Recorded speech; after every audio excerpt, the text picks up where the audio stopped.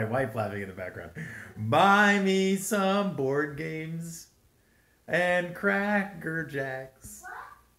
I don't care if I win or lose in an attack. That terrible rhyming there. Hey, as you can see, this show is completely scripted. Welcome once again to another Game Master Dave's live show right here on the Long Island Tabletop Streaming Network. So let's level up. Uh, can you guess what game I'm featuring tonight? I have featured it once before, but on my show that I did on Facebook and it is in preseason baseball right now. I'm super excited. I'm a Yankees fan. I know a lot of people don't like the Yankees. I just played. Uh, hey, Bill, nice to see you.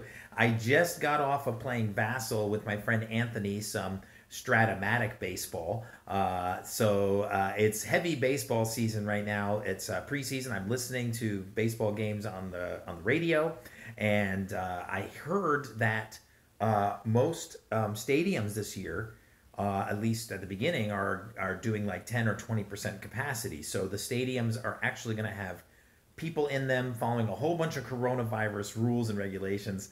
Uh, so, but I'm super excited about uh, going with this game right now. I'm also playing Twilight 2000, uh, D&D, uh, Call of Cthulhu, all role-playing games. Um, we were just talking earlier via chat that we've got a Charterstone um, uh, group that we haven't met with for quite some time.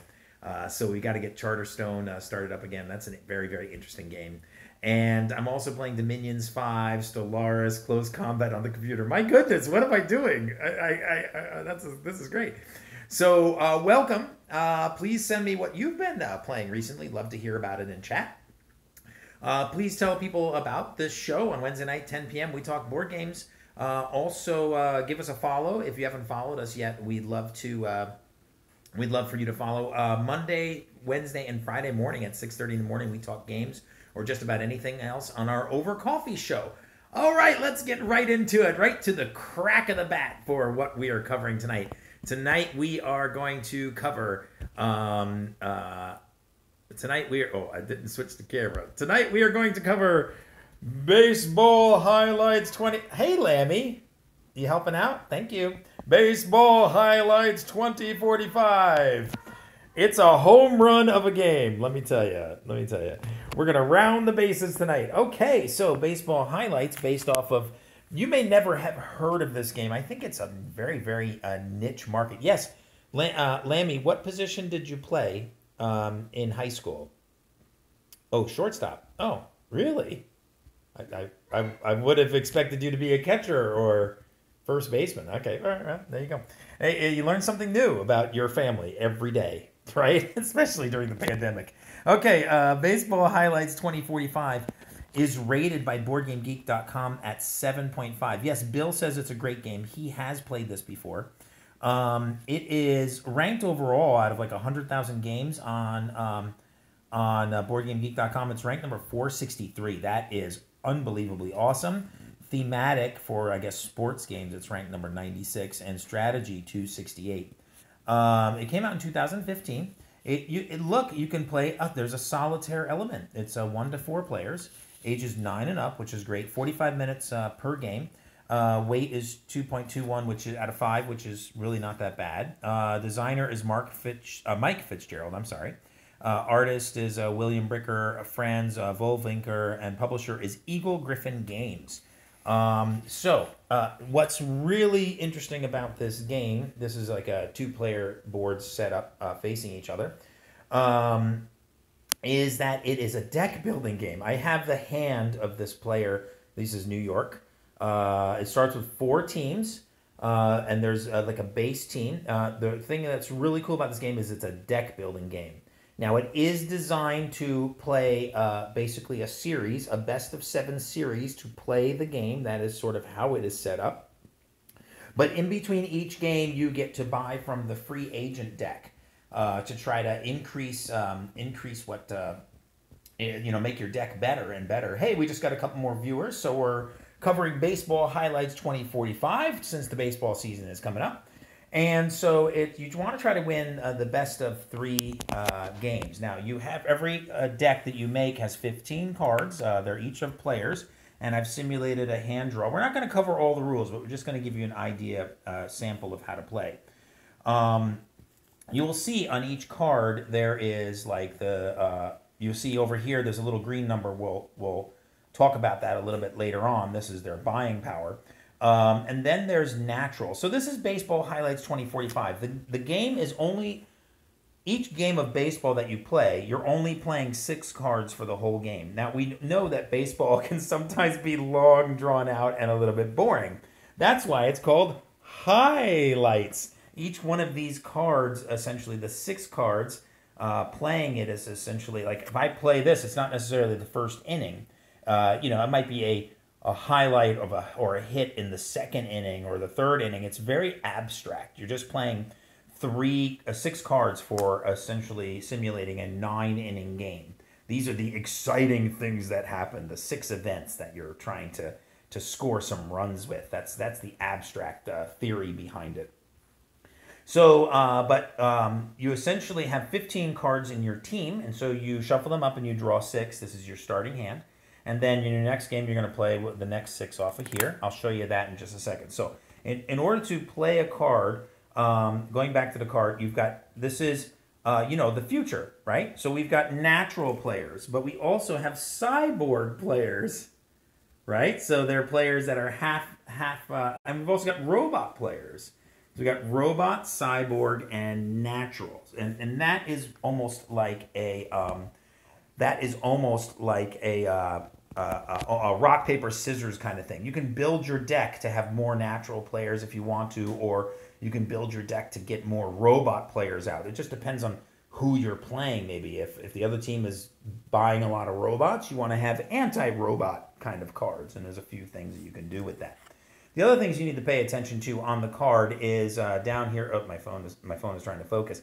Is um, what is this? This is a single. This player, if you play this card, you threaten a single. And then there's a type of runner. So you have uh, F for fast, A for average, and S for slow. So this would be threatening a, a, single with an average runner. So let's play that card. So I'm the visitor team, so I'm going to play a card first. So I play this card, and an average runner is represented by um, by a blue uh, a blue pawn. So I am threatening a single with an average runner. Now the opposing team gets to play a card. Okay, so we got here, they could play this card. This box is an immediate action box. This would happen right away. So they can cancel a hit. So he's threatening hit. So just for gameplay, just so you can see what happens, is I will play this card and I will cancel one hit. So now this threatened run goes away and then they will threaten a thank you lammy for handing that to me. They will threaten a single with an average runner. And then the gameplay goes back over here to new york. Now i've got another immediate action box here like walk chains all hits to walks. Well that's a single anyway so that doesn't really uh, happen that, that well that not that important. Double play remove up to two base runners no fast runners. So uh, there's only one base runner so we're and there's actually nobody on base essentially so let's now play this home run card. So now what I'm going to do here is I'm going to play my second card, and I'm going to threaten a home run with an average runner. Okay? I didn't cancel any hits, so once I put this down, then this threat on the opposing team happens. So now he runs to first base. This is upside down because of this opposing view. Okay, so that's how you get a runner uh, on base. Uh, uh, oh, you only play this one time, Rich. Oh, yeah, we should play it some more. It's a fun game. Um, so now um, this guy's threatening a home run. So look, this guy doesn't have any immediate action boxes to cancel that hit. So here's where the strategy comes in. You should have saved that cancel one hit one for you know a better you know this guy's threatening a home run. The last one was just a single. This would be the time to play this card. So there is some agency in this and in, in when you play cards and what you do. So he hit home run. So heck, I'm gonna use this guy to threaten a home run. So that's the card I play.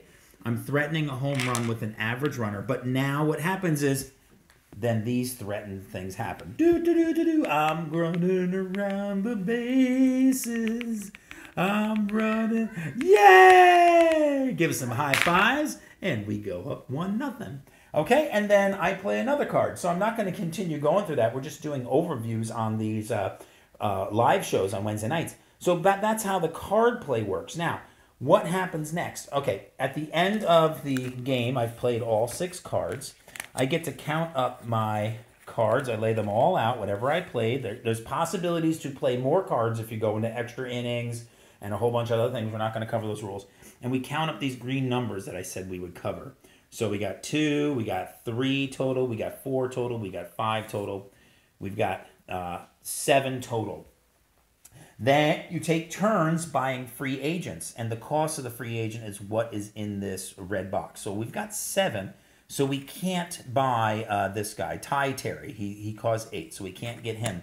But um, look at this one. We could possibly get him, or we could get uh, Moose Giambi cancel one hit or threaten home run, or this guy is cancel one hit and threaten two singles and fast runners.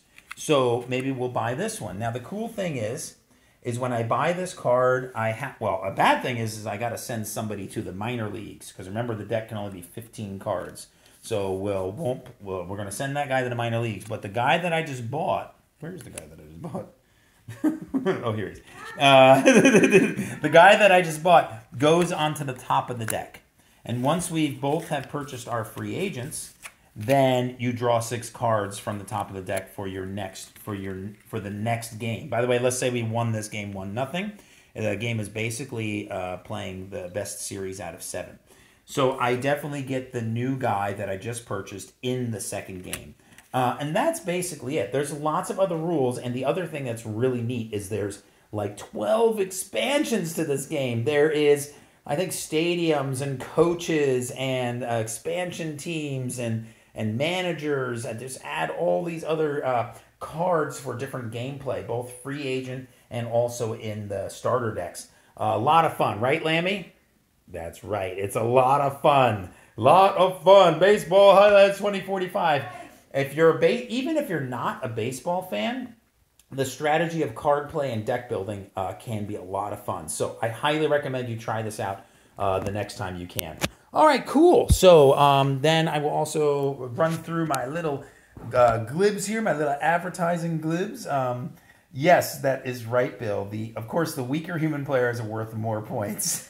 yeah, I, I, guess I haven't noticed that, but maybe uh, maybe that's true. Cool. Email me with any comments, questions, concerns, or call me. Um, uh, ideas, uh, suggestions. Um, uh, also, here are three stores we support on Long Island Cosmic Comics in Baldwin, Legendary Realms in Lindenhurst, and Main Street Board Game Cafe in Huntington.